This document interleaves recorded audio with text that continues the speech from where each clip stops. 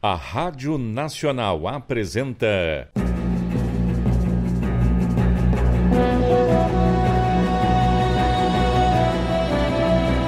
A Corrida do Ouro. Uma novela original de Rodrigues Aguiar.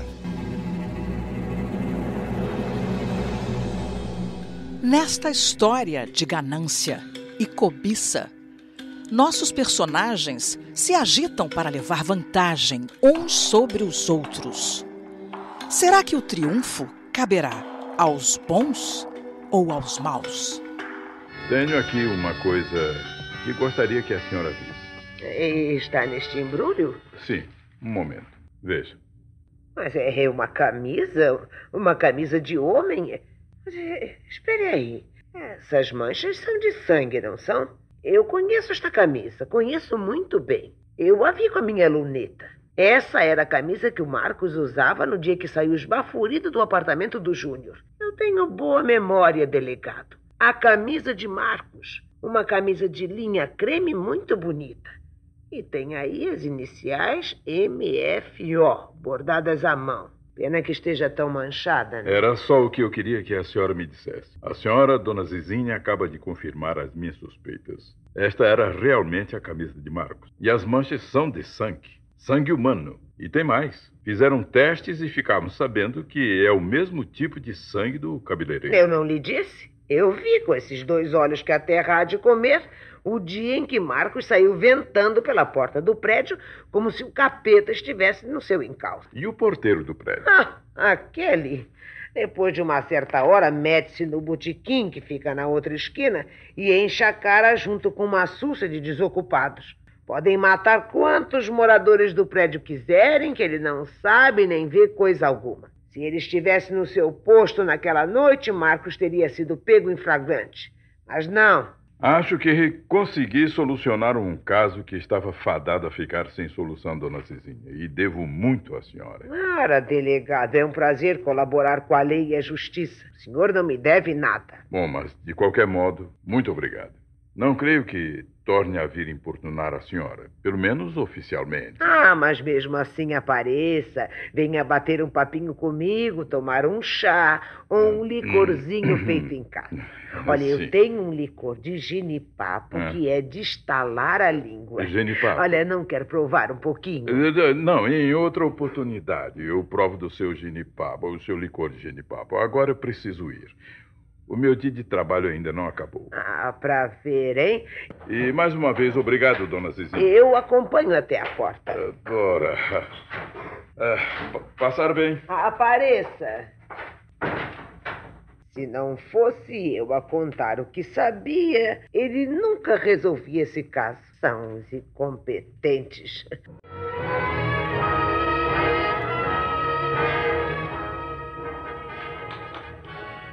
Ah, comi como um frade. A comida estava muito gostosa. É, essa nova cozinheira que eu arranjei é muito melhor do que a outra. É, por que foi que a senhora despediu a outra, tia Lucate? Porque roubava mantimentos. Eu apanhei com a boca na botija, levando para casa uma saca com açúcar, café, feijão, arroz e até um pote de margarina. Não nos faz falta. Ah, mas comigo a coisa é ali na batata. Essa cozinheira é de mão cheia. hein? Bom, vamos para a varanda? Mande servir o café lá fora, titia. Hum, já tardava. Janta às oito e meia e ainda essa invenção de café e licores na varanda. Você não entende nada de bons costumes, Cadinha. Gente fina é assim que faz. Café e licores na varanda. Quanto a Lídia, eu já não digo nada. Mas desde quando você é um homem fino? Desde que saí do Catumbi e vim morar aqui em São Conrado. Bom, vamos então para a varanda? Eh, vão indo, vão indo. Eu vou dar umas ordens lá dentro.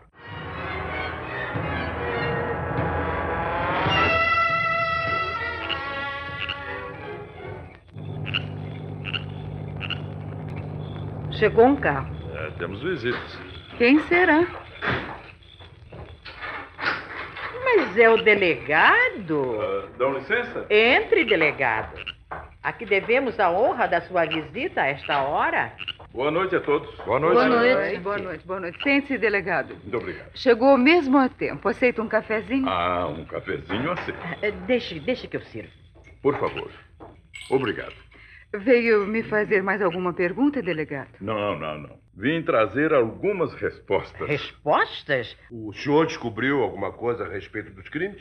Alguma coisa, né? Coisa importante, delegado? Pode ser que sim, pode ser que não. Ah, delegado, não faça jogo de palavras. Vamos logo ao âmago da questão. O senhor já sabe quem foi que matou Marcos e minha pobre irmã? Não, ainda não sei. Mas é, se não é nada relacionado aos crimes. É um momento, um momento, gente. Estamos fazendo um interrogatório sem deixar que o delegado fale. Vamos com calma, né? É verdade. Desculpe, delegado. Mas diga-nos a que veio. Bom, agora posso dizer, sem medo de errar, que encerrei aquele caso do assassinato do cabeleireiro. Ah, aquilo. Ah, é. E que relação pode haver entre o assassinato daquele infeliz e a nossa família? Tem muita, dona Leocádia. Como assim? Foi um morador desta casa quem matou o cabeleireiro. Louvado seja Cristo! Foi alguém da nossa família? Estamos apresentando.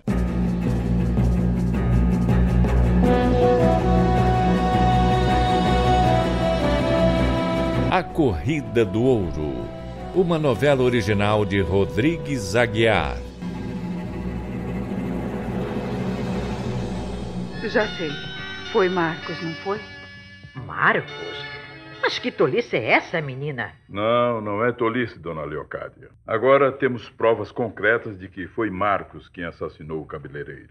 O caso foi encerrado definitivamente. Marcos, um assassino. Eu sabia que boa coisa ele não era. Por que matou o outro?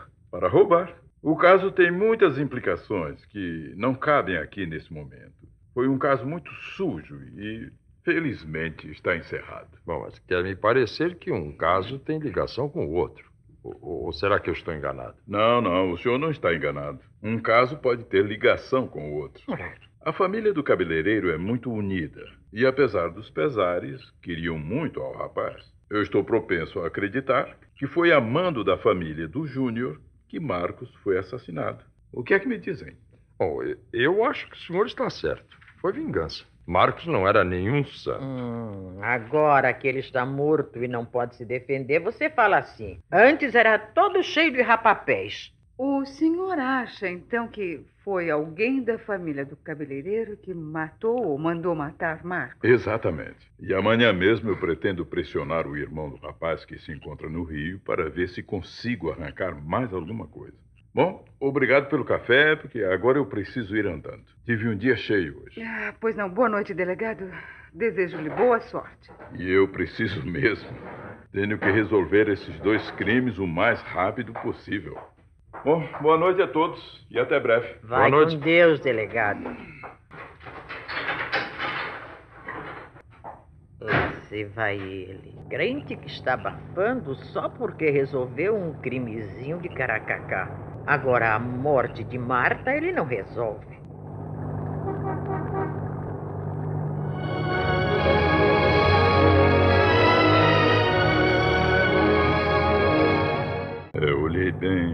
Bem para o rosto de cada um. Ninguém se traiu. Mas eu tenho certeza de que foi um deles que matou Marcos. E também matou Dona Marta. Ela deve ter visto o primeiro crime e, na certa, pressionou o assassino. A Marta era uma mulher curiosa e gostava muito de dinheiro. Se sabia quem foi o assassino de Marcos, tratou de tirar proveito disso. E por isso morreu. Mas quem? Qual daquelas pessoas é a criminosa? Eu preciso arranjar um meio de saber a verdade. E vou saber, custe o que custar.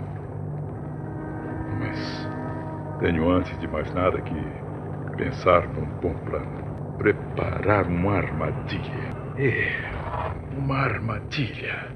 É disso que eu preciso. Uma armadilha.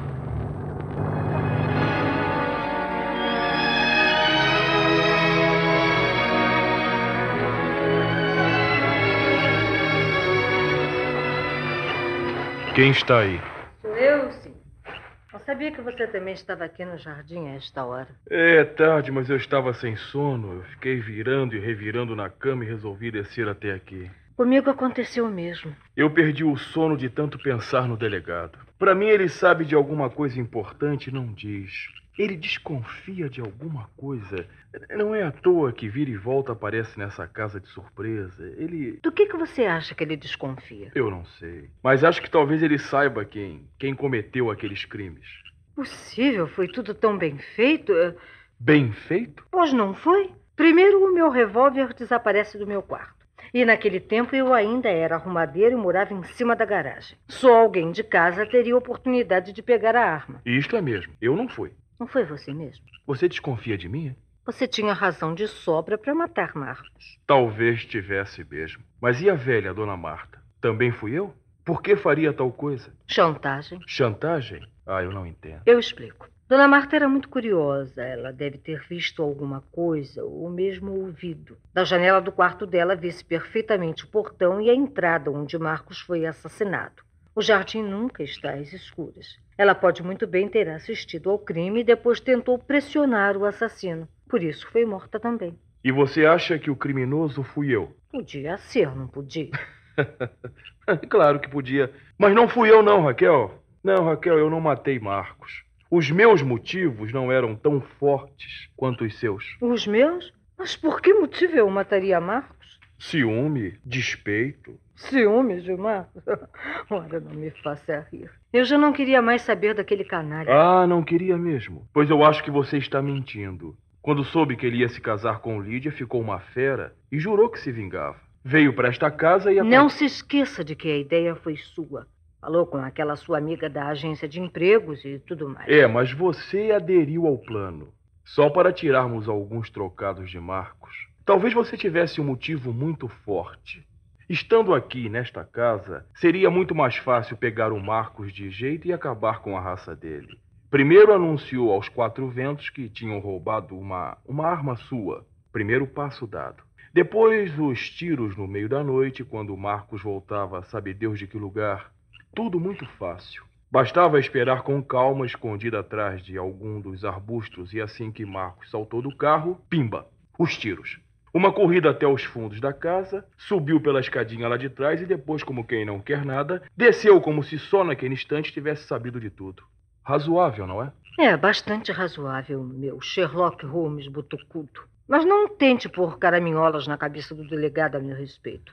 Se você tentar alguma coisa parecida, eu vou abrir a boca a seu respeito. E você sabe que eu posso dizer muita coisa. Tem medo que eu a denuncie? Você não seria tão tolo a ponto de me acusar. Eu ia entornar o seu caldo. E isso não lhe convém, não é? Eu não sei do, do que você está falando, Raquel. Ah, não sabe? Estou falando de uma certa peruca loura e do roubo de uma camisa. Cale essa boca, sua estúpida. Feche a matraca. Não volte a falar nesse assunto, senão. Senão o quê? É... O que é que você vai fazer contra Olha aqui, Raquel. É... é nós podemos fazer um tratado de paz. Tratado de paz? Como e por quê? Eu juro não revelar coisa alguma que possa comprometer você, e em troca você faz o mesmo. Eu vou pensar com mais calma no assunto. Depois eu lhe dou uma resposta definitiva. Mas até lá. Até gente... lá vamos conviver pacatamente. Cada um na sua. Mas veja lá, hein? Olha, se você disser alguma coisa. Veja lá, hein? Você me conhece. Conheço você de sobra. Por isso mesmo não lhe disse tudo quanto sei. E eu sei de tudo. De tudo. Nada como a gente ficar escondido para ouvir certas coisas. Muitas histórias se cruzam nesta corrida atrás do dinheiro. Quem irá se dar bem? Quem irá se dar mal? Acompanhe para descobrir quem será o vencedor da Corrida do Ouro. A Rádio Nacional apresentou.